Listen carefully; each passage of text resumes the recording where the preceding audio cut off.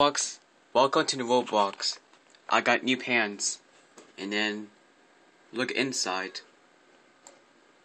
That's cool, huh? Goodbye.